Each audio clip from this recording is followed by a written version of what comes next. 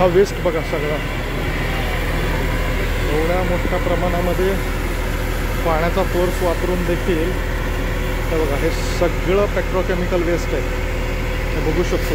ही परिस्थिती आहे. हा ऑन ग्राउंड रिपोर्ट मोरवाडी कोट्याच्या पाठीमागनं अग्निशामकच्या दलाच्या जवानांची पन्नासपेक्षाही जास्त गाड्या इथं वापरल्या गेलेल्या आहेत. आणि त्याच्याने देखील ही आग विझण्याचं हे नाही आहे हवेमध्ये जाणारे लोण बघू शकता.